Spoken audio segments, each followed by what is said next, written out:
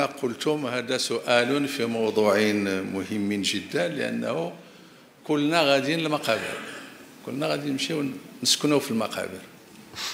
ديالنا في البلاد كيسميوها المدينة بمعنى المدينة الحقيقية اللي غنمشيو نسكنوا فيها. هذه غير زائفة على كل حال.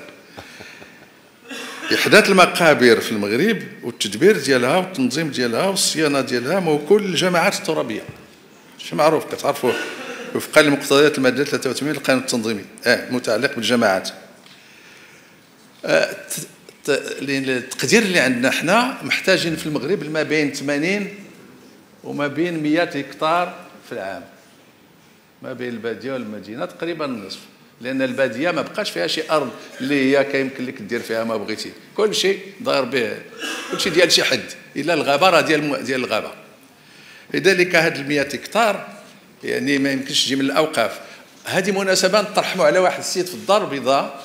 توفى مؤخرا يعني حبس 130 هكتار على المقابر في الدار البيضاء.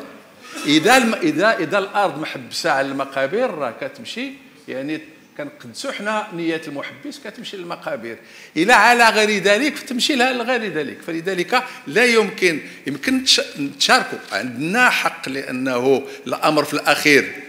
في الأخير في الأخير كان كنوليو حنا كنورثوا المقابر فيما بعد بمعنى العناية بها ماشي باش نديروا بها شي حاجة أخرى.